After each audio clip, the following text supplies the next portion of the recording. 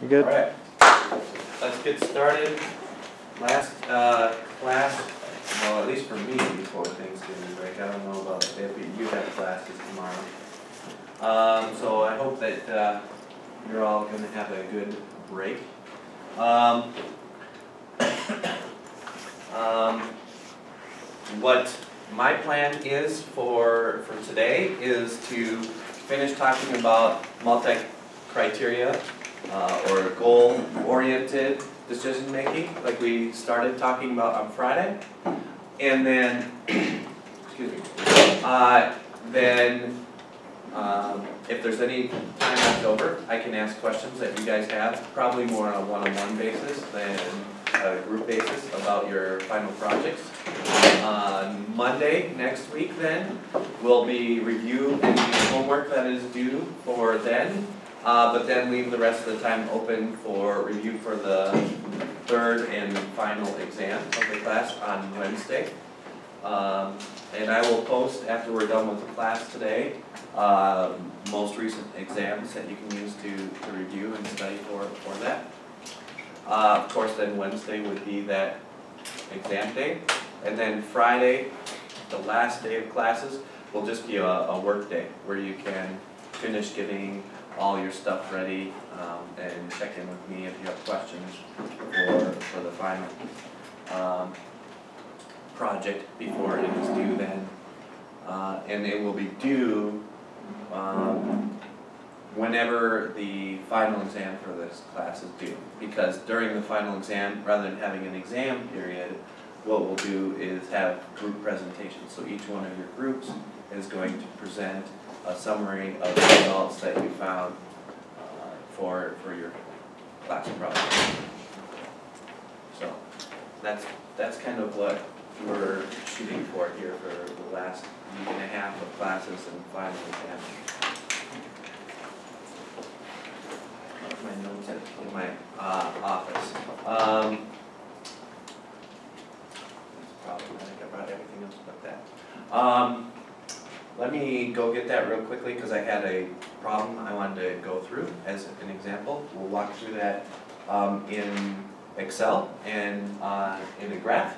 And, and then we'll do a, uh, question from your book. So rather than just sitting around doing nothing, start reading question fourteen while I'm getting the, my, my notes.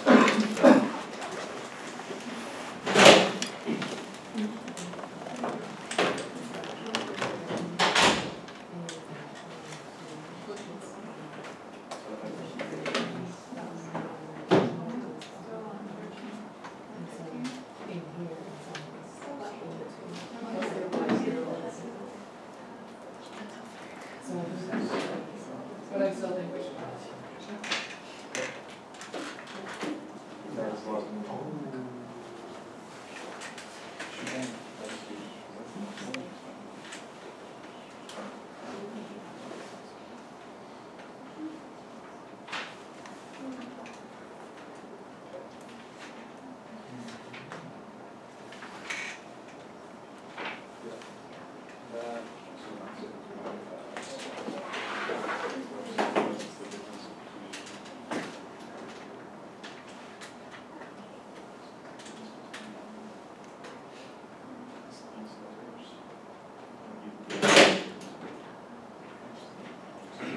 Alright. So, we'll get to that question in a second, uh, but we wanna look at this question first. So let's say we are a small mom and pop shop selling, um, custom computers to, to various customers. And so we've got two lines of our, our computer laptop brand, we've got our CP four hundred and our CP five hundred. And uh, what we're caring about here are some uh, modular components that we can add or subtract from, from these lines. In, in this case, this takes two memory modules, uh, but this one only takes one memory module. Uh, They both uh, require one case.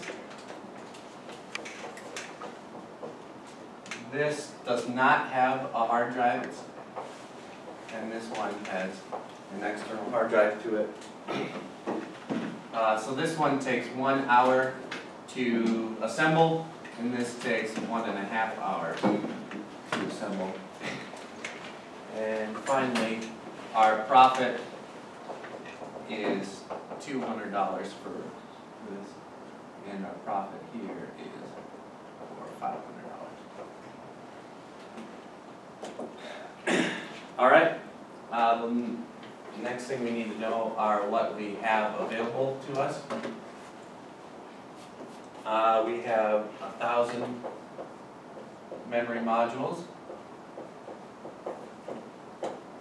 We have six hundred cases. And we have five hundred hard drives. Um, and specifically, these are our weekly supplies, so we have contracts with a supplier to get this in each week for, for us to be able to, to manufacture this many units available to us. All right, questions about what I have so far listed? All right, so we've got four goals that we would like to be able to achieve if we can, and, and this is in priority order. So goal number one is more important than goal number four. Um, so we have a contract that with a government entity that we need to supply them with two hundred uh, CP four hundred uh, models. So we need to make sure that we meet that contractual obligation. Goal number two, once we met that, we would like to produce five hundred machines a week. Goal number three, provided we can make those first two goals, is that we would like to have at least two hundred and fifty thousand dollar profit per week. And then finally, goal number four is that we have up to four hundred uh, hours of labor per week that we can use to make these machines.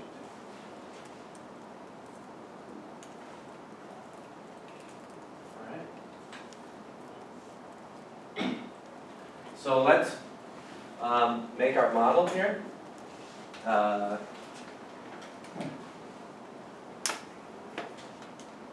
What are the constraints, let's ignore the objective for a second, because the objective changes as we go through these different goals.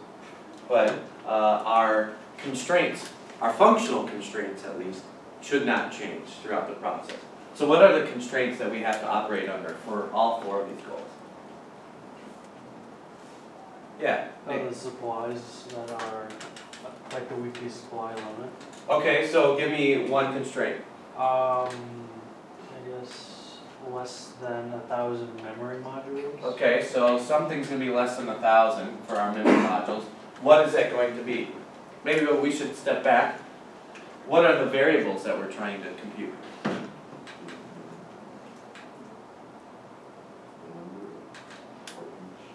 Say it louder. Number of each memory model? Number of each, so I'm just gonna call, call this, uh, F, or, no, that doesn't work. I'll just go, call this, uh, C sub four and C sub five, okay? That's the number we're gonna make for, for each one of these. Okay, so, given those are our variables, do we have any other variables that we need to choose? This is the only thing we care about, right? So given those being our variable, how do we relate those to one thousand?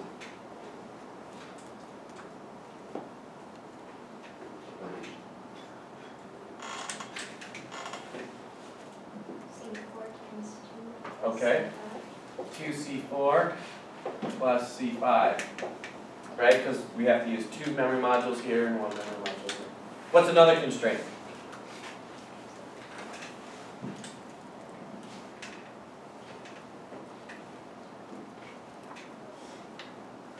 Memory's not our only constraint, right? the number of cases we have. Okay. What's that going to be? Just be C four plus C five, that's less than percent system. Any more constraints?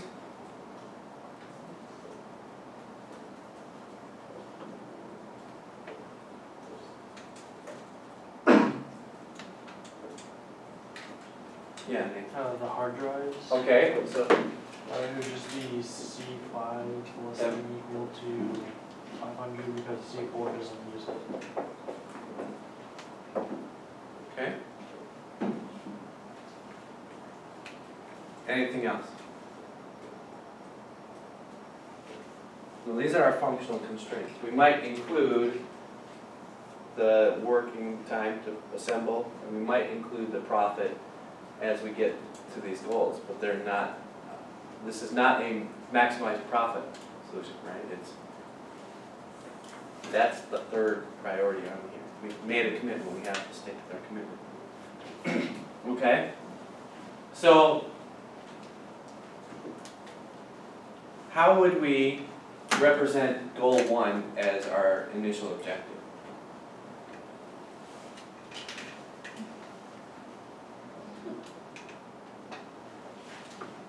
C four is, is that three? Right, so, so that first one, we write C four has to be at least two hundred. Because, but since we are going to want to represent this with multiple objectives, we're gonna put this in terms of the equations that we did on, on Friday where we have our deviation variables. So we're gonna end up being exactly equal to, to this, right? And what we're gonna do is we're going to subtract off our deviation value, let's call this for our contract, where we go too many, we make too many of these, or we add our deviation where we went below. So this is going above, going below. Do we care if we make too many of these machines? That doesn't bother us, right? We just need to make sure that we have at least two hundred to deliver to this, this contract. So our objective is going to start off as minimizing this value right here. We wanna make sure that that is non-positive. If we can make two hundred machines, we're gonna, we're gonna do that. Alright? So, let me pause here and do our um, graph, to visualize again. I'm not asking you to solve it, but I want you to see what we're doing. Um, because then it can help you kind of think about what we're doing. So I'm gonna draw each of these three functional constraints first, so I'll make this one blue, this one red, and this one green right here. Alright? So, uh, I'm gonna make these, uh, units of two hundred. That'll make it the easiest to, to solve. So I will put, I don't know, C4 here. I will make this C5 down here. Alright. So let's diagram it. So when C4 is 0, that would make C5 1,000. So 2, 4, 6, 8, 10. I'm gonna make this in units of thousand. Uh, hundred, sorry. And if C five is zero, then C four is five hundred.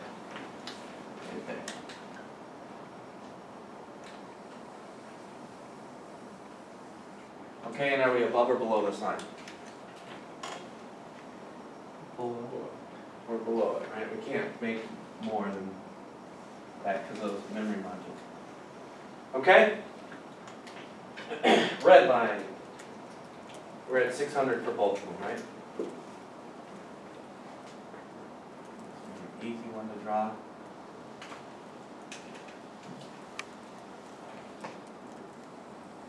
And are we above or below that line? Here we were below that line as well.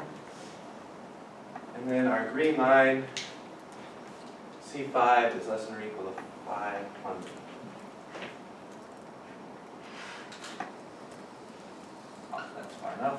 Are we to the left or right of that? So where is our feasible region before we consider our objective function here? It's in this left-hand part of, right in, in here. So for our first objective, what we're gonna do is we're gonna add this constraint right here. It only considers C four. So if these are zero, then we have to have this line right here. And it's gonna be anywhere above that line. So we still, we still know that there's a lot of locations that can satisfy that. So we already know, before we've even solved this, that we are going to meet this first goal. So let's put our next goal in, which is that we want to have at least five hundred machines a week. So the five hundred is gonna be here. What's gonna be on the left-hand side of that equation?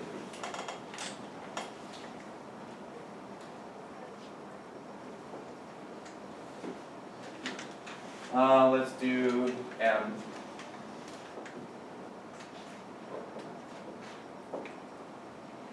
Okay, and again, is it okay if we go over, if we make more than five hundred machines? In this scenario? Right, it's it, we wanna produce at least this many, maybe I should, right, put that there. So, we don't care if we go over, we only care if we go under. So we're going to include that in our objective function. So now I'm gonna draw this one, we got C four and C five. So that one.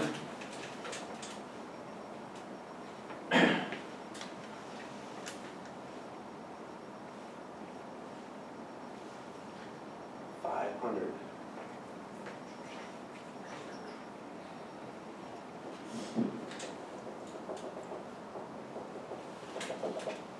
And again, we want to be above this line. So we still have a feasible region. Now it's this, this very thin slice right here that is, is feasible. Before, it was this whole area, but then we crossed this out. And then we, did with our second goal, we crossed this out right here.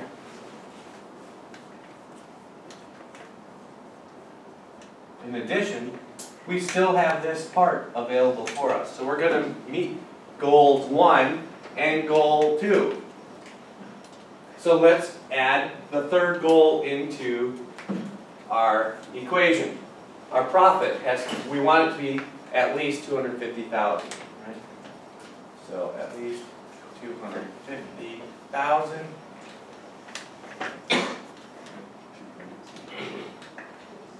How do we compute that? What do we do with C four? Multiply by profit. We multiply by our profit. So two hundred C four plus five hundred C five. And then I'm using P for profit for that deviation variable there. Okay, let's, let's add this to our equation. I'm going to make this a little bit easier. I'm going to divide everything by 100. All right? So if C5 is 0, C4 is going to be 1250. So it's going to be up here. And if C5, if C4 is 0, C5 is going to be 500.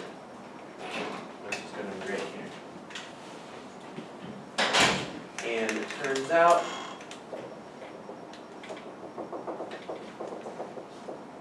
It's even steeper than that, let's go like that.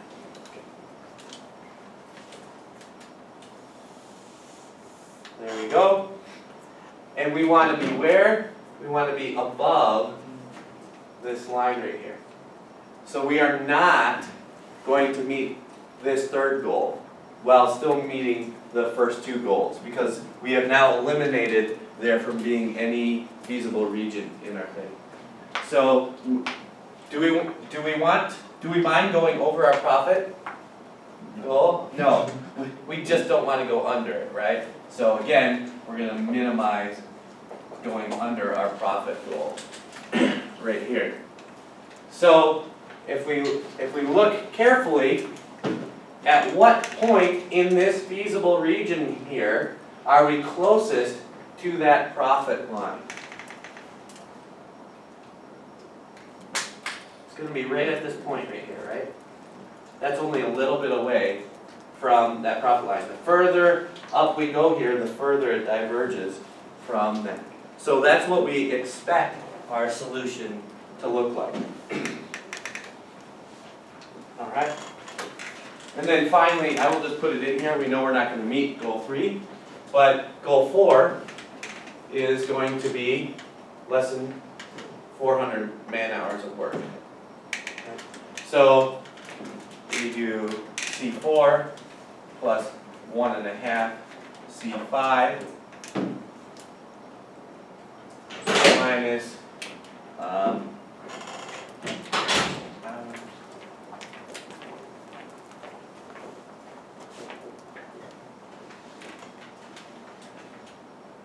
And in this case, do we mind going over?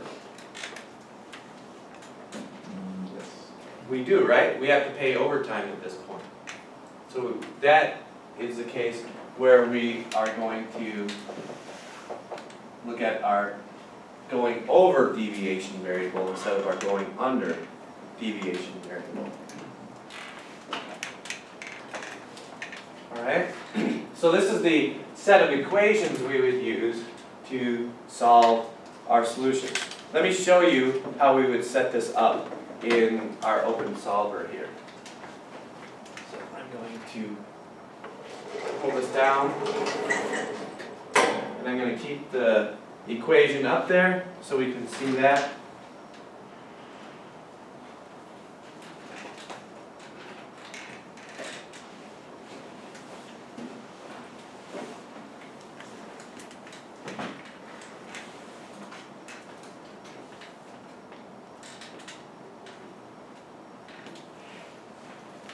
Alright. Num C P four hundred, num C P five. This is an example where, again, the Excel spreadsheet having nice variable names is actually better than, than the mathematical equations where we're trying to just kind of skimp out on, on those variable names.